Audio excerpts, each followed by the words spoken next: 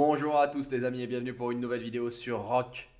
Aujourd'hui les amis, on est en plein dans le creux de la vague, en plein dans la mort puisque le KVK est à présent terminé sur un grand nombre de royaumes hein, et excepté si euh, il vient de commencer chez vous comme on l'a vu pour les KVK de la série 85 plus notamment, mais c'est ultra calme et je vous avais dit qu'à mon avis on allait manger un patch parce qu'ils vont devoir nous mettre des évotes, ils vont devoir faire quelque chose parce que là on va tous décéder pendant deux mois et demi. Vous imaginez si l'Inter KVK dure deux mois et demi, deux mois et demi comme ça, ça va être compliqué. Et ce matin il y a quelques petits bugs. Alors sur mon serveur il n'y en a pas, mais certains serveurs sont buggés au niveau du timer du KVK. Donc déjà à mon avis on va peut-être avoir un petit, euh, un petit reboot ou un petit patch rapide de quelques minutes je ne serais pas étonné que ça arrive. Il y a certains donc, serveurs qui ont leur timer de KVK qui est freeze à 13h37, je crois, ou 13h38. 13h37, ça fait un peu free, ça fait un peu lit, un peu trop ingénieur informatique. Euh, mais euh, donc apparemment, il y a un petit bug pour certains. Moi, je ne l'ai pas. Donc en tout cas, si vous l'avez, ça sent le petit euh, patch, le petit dawn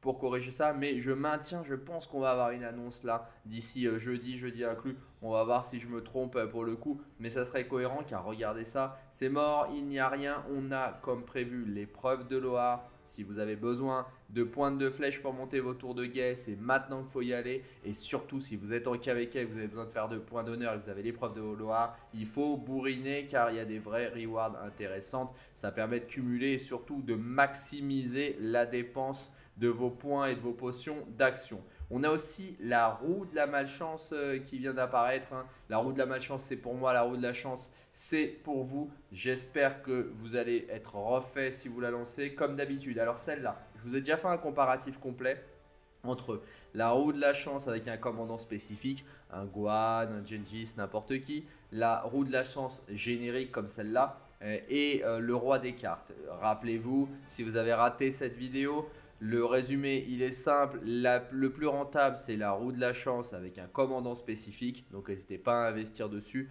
Jamais ou rarement, sauf si vous avez vraiment trop de gemmes, plus de 25 tours. Le deuxième plus rentable est cette roue-là, la roue de la chance générique. Et le moins rentable, mais ça reste quand même intéressant, reste le roi des cartes. Alors moi, celle-là, comme pour la roue de la chance générale, alors spécifique, je vais plutôt à 25 tours. Celle-là, en général, je me limite à 10 tours, sauf quand j'ai vraiment beaucoup trop de gemmes, ce qui n'arrive que très rarement. Hein. Là, j'en ai 81 000, mais c'est jamais trop. Donc, je vais faire mon tour gratuit. On va voir si j'ai toujours bien la poisse. Là, je peux pas incanter les 8 têtes, mais peut-être 3 têtes, ça serait bien quand même. Mais à mon avis, il faut pas rêver. Alors, j'ai pris en considération, oui, j'ai une étoile qui sert à rien.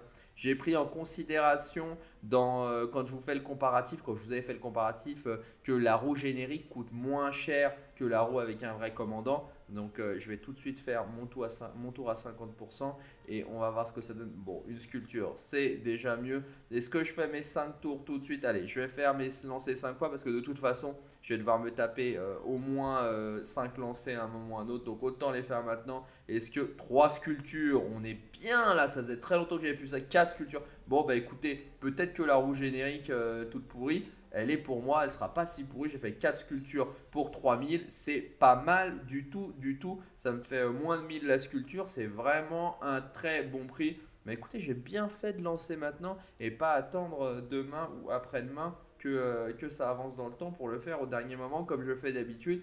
Là, ça a été pas mal du tout.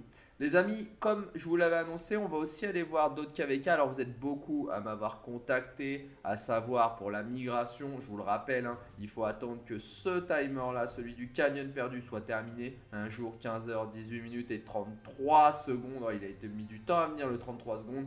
Donc euh, il faut attendre que ce timer soit terminé et votre serveur arrêtera d'être euh, en immigration, ou le mien, hein, immigration euh, limitée et vous pourrez aller sur tous les serveurs, même ceux qui, euh, bah, viennent de finir leur KVK, mais il faut attendre que ce timer finisse. Donc vous êtes beaucoup à me contacter sur Discord en ce moment pour savoir où aller, quel serveur je conseille, etc.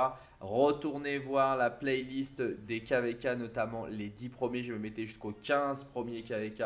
Vous saurez qui a gagné, qui a perdu. Alors après, la règle, elle n'est pas euh, toujours vraie. Par exemple, les serveurs qui perdent ne sont pas des serveurs avec des grosses migrations. Forcément, ça dépend du nombre de victoires qu'ils ont eu avant et de la solidité du serveur. Par exemple, un serveur comme le mien, le 1256, On a gagné 4 KVK, on vient de perdre le, dernier, mais on l'a perdu avec honneur, on s'est battu jusqu'au bout. Il va y avoir quasiment aucune immigration de notre serveur vers un autre. Hein. Tout le monde reste, personne n'a annoncé son départ et on voit personne qui bouge ou qui se prépare à partir. Donc normalement, nous, personne ne devrait partir, sauf ceux euh, à qui on demanderait de partir, bien évidemment. Euh, et euh, on a pas mal de demandes pour, pour venir sur notre royaume, mais notre royaume recrute à un niveau assez élevé. Mais bref, donc la règle n'est pas immuable. Hein. Vous pouvez être sur un serveur qui perd, mais un serveur où il n'y a pas d'immigration externe. Donc euh, n'hésitez pas à regarder bien cette playlist, à voir où vous pouvez aller. Je vous ai vraiment montré des beaux serveurs. Donc si vous voulez de la baston, si vous voulez des serveurs de ouf, vous en avez vu plein. Et puis euh, si vous voulez euh, tenter votre chance sur le 256, vous pouvez contacter les officiers. Je n'en suis pas un, ça sert à rien de me demander. Vous êtes beaucoup encore une fois à me demander à nous rejoindre. C'est pas moi qu'il faut voir. Chez nous par exemple, au niveau du recrutement sur le 256, il y a plusieurs personnes qui s'en occupent. Notamment, j'ai vu un mail passer. Hein. Euh, je crois que c'est euh, Jala Supi. On le voit, Jala, est-ce qu'il est là? On ne le voit pas là dans les officiers, mais on a Jala Supi. Vous pouvez contacter Godi, Floki, Fake Wolf, n'importe qui. Chez nous, en officier, c'est tous des oufs et ils seront tous ravis de vous répondre sur les, euh, les modalités de recrutement, sachant qu'on on attend des joueurs qui vont combattre, bien évidemment, avec relativement euh, d'une puissance relativement assez élevée, hein, au moins 60 millions. Euh, je dirais, et euh, au moins un million de morts facile. Après, ça dépend de la configuration de votre compte. Si vous avez 50 euh, jours, 50 millions et 500 000 morts, évidemment, vous êtes un très gros pay to win, donc il n'y a pas de souci. Et même pour les, les low spenders, hein, il y a des profils, il y en a plein. De toute façon, il n'y a pas que des gros pay to win sur le 256. Sinon, on aurait écrasé ou pas, hein, parce qu'il y a de la stratégie. Hein. le 1077, par exemple, ce qui n'a pas été le cas lors du dernier KVK. En parlant de KVK, on va se rendre sur des nouveaux KVK. Je, on m'a demandé, vous, êtes quelques-uns à m'avoir demandé, notamment en commentaire de la vidéo d'hier, de refaire, de rebalayer le KVK de 1 à 10. Alors je vais juste vous montrer le premier, je vais vous expliquer pourquoi je ne rebalaye pas le KVK, les KVK qui sont euh, maintenant clôturés, parce qu'ils ne sont pas fermés, mais ils sont clôturés. Pourquoi? Car si on va dessus, c'est assez illisible. C'est pour ça que je vous invite à retourner voir la playlist, vous le voyez, sachant qu'il n'y a plus que les 4 gagnants qui sont partout et les autres sont partis en général. Donc la map n'est pas très lisible et on ne peut pas vraiment voir lequel des 4 a été gagnant euh, et vraiment un serveur euh, qui a bien drivé, etc. etc. Donc c'est pas vraiment facile à lire et à vous donner des conseils une fois qu'on arrive dans cet état où tout a brûlé, tout a été détruit et surtout une fois que les autres euh, sont partis, hein, comme nous, hein, une fois qu'on est parti du serveur, évidemment tout est brûlé. Donc ce n'est pas des plus intéressants et surtout des plus euh, compréhensibles et lisibles, c'est pour ça qu'on va pas dessus. On va plutôt se pencher, on va continuer sur la série des 80 parce qu'on a vraiment des beaux royaumes à aller voir. Vous êtes quelques anciens à m'avoir parlé de royaumes avec des guerres civiles au-dessus du sang. On y arrivera peut-être ou pas, on va bien voir. Aujourd'hui, on va aller voir le serveur, une petite chronique sur le serveur 89. Hein. Alors comme vous le voyez, hein, tous ces serveurs-là, le 80, pas le 85, le 86, le 87, le 88 et le 89 sont des royaumes qui ont exactement hein, la, même, euh, la même ancienneté, la même histoire de KVK. Et on le voit, on est toujours sur des grappes qui se situent entre 1650 et 1750. Alors évidemment, alors si je descends plus bas, pas là, voilà, on a des serveurs qui vont un petit peu plus loin jusqu'au 1728 euh, sur le 91 mais euh, on est vraiment sur la, même ancienneté de serveur avec le matchmaking qui a été fait. C'est des serveurs qui accueillent beaucoup de migrants, euh, ces serveurs-là, puisque quand les joueurs euh, sont des joueurs anciens comme moi par exemple et qui cherchent un nouveau serveur, ils vont rarement sur des serveurs ultra jeunes comme le 1800, 1900 ou les 2000 maintenant. C'est plutôt les serveurs entre 1600 et 1800 qui accueillent des joueurs avec 300, 400, 500 jours d'ancienneté, puisqu'on y retrouve beaucoup de migrants. Nous on le voit pendant la Ligue Osiris on affronte souvent euh, déjà des joueurs euh, bah, qui ont des Théodora par exemple euh, ou des Attila Takeda Maxé alors que ces serveurs ne sont pas censés les avoir encore eu ce qui montre qu'il y a eu beaucoup de mouvements sur ces derniers. Allez on y va, donc c'est le 87, 90, 91, 97, le 702, 703, 711 et 722. Alors le 722 et le 90 si je dis pas de bêtises sont déjà de mémoire des gros serveurs. Hein. Je me rappelle euh, lorsqu'ils étaient en KVK saison 1, si je dis pas de bêtises, on avait fait une chronique euh, sur, euh, sur le royaume, ils avaient fait de gros trucs. Alors, on commence en haut à droite. Alors, hier, je vous ai dit en haut à gauche et j'étais en haut à droite. C'est dur, hein, la droite et la gauche, hein, vous savez. C'est niveau maternelle grande section et je n'y suis pas resté assez longtemps apparemment. Donc, on commence en haut à droite. Et on le voit encore une fois. Hein. Rappelez-vous, ah déjà ça va me faire mentir. Rappelez-vous, je vous ai dit en général le terrain il est occupé par une ou deux alliances. Quand c'est à trois alliances, c'est jamais bon signe pour ceux qui la partagent, c'est-à-dire qu'ils sont enfermés sur les autres côtés. Et là, bingo, on regarde, trois alliances se partagent le terrain, on le voit, hein, c'est du partage. Si ce n'était pas du partage, ça brûlerait ici et ça ne brûle pas. Donc le vert, le 90, le 703 et le dernier, le bleu, c'est le combien? Le bleu, le 722, se partagent ce petit terrain. C'est pas bon signe encore une fois, sauf s'il y a une alliance large de 5 ou 6. Mais à mon avis, il doit être enfermé ailleurs ou pas. On va voir. Au sud, ils me font mentir aussi. Le 722. Donc ça veut dire déjà qu'on en a 5 qui sont ensemble. Là, c'est sûr, il n'y a aucun doute. Regardez, on en a trois qui se partagent le terrain ici et deux qui se partagent le terrain au sud. Forcément, il y a déjà une alliance de 5. Donc ça, c'est des choses qui vous permettent de tout de suite voir et évaluer les forces euh, en présence. Et donc le rouge, bien qu'enfermé au sud, hein, puisqu'il mange deux, alliances sur, lui, il a réussi à sortir là. Il a fait un petit move, il est en train d'essayer, ça, ça brûle hein, évidemment, mais il fait un petit move intéressant, en train d'essayer de faire le forcing pour sortir, ce qui veut dire qu'il a de la ressource, le rouge, et il pourrait peut-être sortir quand les terres vont s'ouvrir, euh, quand les portes de niveau 5 vont s'ouvrir. Mais en tout cas, donc déjà 5 contre 3, et de l'autre côté, et voilà, alors de l'autre côté, à mon avis, c'est sinistré pour eux. Sauf si au nord, ils sont très très forts. Mais de l'autre côté, ça va être euh, justement l'alliance des trois qui va tenir. Donc on a le cyan, le rose qui tiennent là. Alors attendez, je vous dis 5 contre 3, mais donc on a 1, 2, 3 c'est le rouge et de l'autre côté ils sont enfermés. Et de l'autre côté ils sont enfermés. Donc non, alors attendez, qu'on recompte. On a le vert, le violet et le bleu qui sont ensemble. Ça en fait 3 ensemble. Ah non, non, c'est du 4 contre 4. Je vous disais une bêtise. On est bien en 4 contre 4, mais ils sont juste euh, restreint ici et ils ont réussi à avoir le sud donc ils ont deux terrains et leur placement est moins bon hein, que euh, l'alliance du jaune, du bleu et euh, du violet et du vert. Leur terrain est moins bien, je dirais, ils sont moins bien positionnés que l'alliance du rouge, puisque le rouge, lui, ils ont les deux terrains là et ils vont pouvoir se battre plus puissamment sur plus de zones, puisque regardez, quand ils vont arriver, eux, quand ils vont avoir les trois qui vont être là, euh, ils vont avoir juste le terrain au curie où vous être euh, détente euh, dessus. Mais là, sur Macha, ils vont être 2 contre 3. Pourquoi 2 contre 3 Parce que le jaune et le bleu vont avoir en face de le rose, le cyan et le rouge qui va faire le forcing pour sortir. Hein. Le rouge, je vous le dis, il a l'air d'avoir de la ressource. Donc Macha, ça va être tendu. De l'autre côté, donc ils vont l'avoir pour eux. Kalcha, ils vont être détente dessus, ils n'auront pas à se battre. Et en Dimbroco, en revanche, ils seront, ils seront en, je pense que ça va être euh, difficile pour même s'ils sont trois de ce côté-là parce que le bleu va être occupé au sud. Donc ils sont pas vraiment trois alors que là ils sont vraiment deux sur ce terrain-là. Donc avec cette analyse rapide, il faut voir la puissance. Hein. Mais là, si vous êtes sur l'alliance du orange, c'est les euh, euh, NG God, K God, l'alliance du, du, bleu, du cyan, du orange vous avez un avantage et sur la map et dans le positionnement actuellement au niveau euh, du placement euh, des royaumes. On va voir, on retournera voir si l'avenir me donne raison. Mais là, sur le papier, je donne l'avantage à l'alliance du Cyan. Dites-moi si vous êtes sur ce KVK et je sais que certains d'entre vous le sont puisque vous n'avez grandement parlé sur Discord. Dites-moi comment les choses s'annoncent. Je suis curieux d'avoir votre retour de l'intérieur en plus de ce que vous m'avez déjà donné comme information.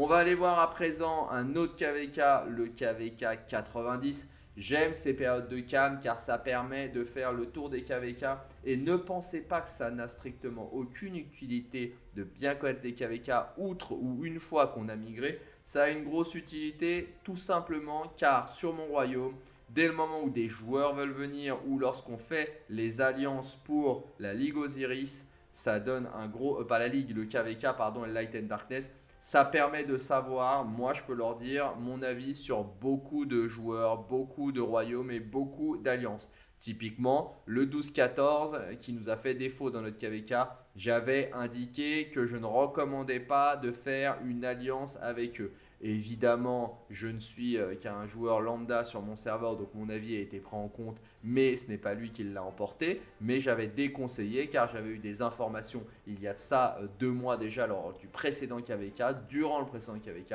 où il y avait des conflits internes et qui risquaient d'avoir une grosse vague de migration. Et bingo, ils ont tenu jusqu'à ce KVK là, et grosse embrouille, et finalement euh, ils vont migrer massivement. Les TOC, la plus grosse alliance, s'en va. Donc euh, j'avais raison sur ce point de vue-là. Pour une fois, j'avais vu juste et d'autres joueurs qui veulent venir chez nous, d'autres alliances qu'on a accepté, qu'on a refusé parce que euh, on a l'historique grâce au fait d'avoir suivi leur KVK. Donc c'est toujours utile. Intéressez-vous vraiment si vous avez le temps à tout l'écosystème et à ce qui se fait sur les autres royaumes et ce qui se passe ça permet d'éviter les mauvaises surprises. J'ai y compris vu chez d'autres streamers l'annonce, je dirais, du mercato, du recrutement de gros joueurs. Il y a de ça 3-4 mois avant le KVK saison 4. Hein. ils étaient ravis de les avoir avec des gros scores et il s'avère que c'était des gros farmers au final et donc qu'ils n'ont rien fait. Et deux mois plus tard, on nous annonçait le fait qu'ils n'avaient rien fait et qu'ils euh, qu'ils n'étaient plus les bienvenus sur le serveur. Donc vraiment, méfiez-vous de tout et essayez de suivre le plus de KVK et d'alliances possibles. C'est assez simple, hein. il vous suffit de regarder lorsque c'est le KVK et aussi il vous suffit de regarder mes vidéos et vous saurez ce qui se passe à peu près partout. On passe cette fois au KVK 90, toujours la même grappe, 1681, 85, 96, 1712, 15, 16, 18 et 24. Là de mémoire, il me semble que le 16 et le 81 étaient des royaumes intéressants on va voir ce que ça donne sur ce KVK là et que je ne me trompe pas en comptant qu'on soit bien comme le précédent 4 versus 4. On commence toujours encore une fois en haut à droite avec le 696 de 96 qui cette fois un partage classique, donc une bonne position. Ils ne sont que deux à se positionner. Là, ils ont totalement bloqué le bleu qui n'a pas l'air d'avoir réussi à sortir même un petit peu puisqu'il y a aussi il y a des flags. Donc il est un petit peu sorti mais pas très loin. Euh, de l'autre côté, forcément le bleu quand il est bloqué, il sort au sud. Hein. donc le 85 sort au sud vers le 15 avec lequel il est en alliance et il bloque le vert. Donc on est sur des grades de 2 répartition classique, un max de reward quand c'est comme ça, plutôt que d'être 3 sur un terrain. Le vert et le rouge bloquent le violet. Là, le violet n'a pas de chance. Malheureusement pour lui, il est enfermé et il y a peut-être eu de l'embrouille parce que regardez, ou sinon ils ont juste bougé une forteresse, mais ils ont une grosse partie de terrain déconnecté. D'ailleurs, avoir un camp croisé totalement sans. Il est en occupation, heureusement, mais totalement déconnecté. Il va falloir qu'il le récupère euh, vite parce que sinon euh, ils vont perdre un bonus intéressant. Donc pour le moment, il est bulé et long. Donc encore une fois, on a un violet qui est isolé dans le coin et le rouge qui alterne au sud, il est bloqué au nord et ça se partage avec le jaune. Donc au final, on a le jaune, lui il est cool, hein. le jaune il est dosé. Regardez, le jaune est le seul qui sort des deux côtés. Donc on a le orange, le jaune, le cyan et, le dernier, ça doit être qui? Et euh, forcément bah, le violet. Le violet il n'a pas de peau, hein. il est tout seul dans son coin contre euh, les quatre autres.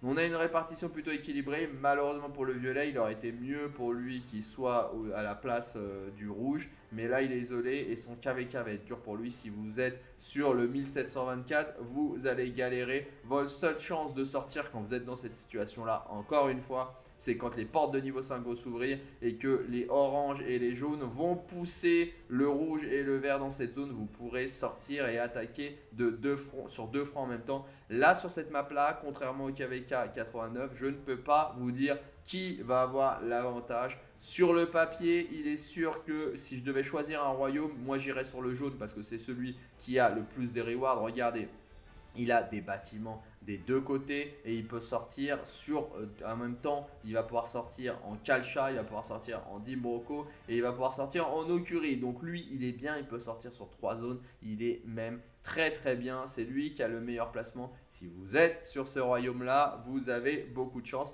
Ce KVK on va le suivre aussi mais je vous rappelle que sur cette série de KVK notre fil rouge actuel reste le KVK tac tac tac on le retrouve. Le KVK numéro 86 qui nous promet vraiment des gros combats, hein, le KVK 86. Je pense que c'est le KVK du moment à suivre si vous êtes dessus et vous êtes nombreux dessus puisque vous m'envoyez plein d'infos. Continuez de le faire parce que c'est vraiment très intéressant de voir ce qui va se passer Je suis impatient de voir quand les portes de niveau 5 vont ouvrir. Si d'ailleurs vous avez le timer, vous avez calculé quand c'est que les portes vont s'ouvrir, n'hésitez pas à m'envoyer sur Discord. C'est une info que je n'ai pas. Voilà, retour sur le 256 avec toujours ce magnifique code erreur E981. Ça, ça n'a toujours pas été patché, ça serait bien qu'il le fasse. Je vous le redis, je sens bien un petite annonce de patch euh, demain, aujourd'hui dans la journée, mercredi ou jeudi. On va bien voir si je me trompe ou pas, les amis. Il est probable que ça arrive, mais il y a une probabilité aussi que ça n'arrive pas, surtout avec le petit bug que certains ont actuellement sur le timer du KVK.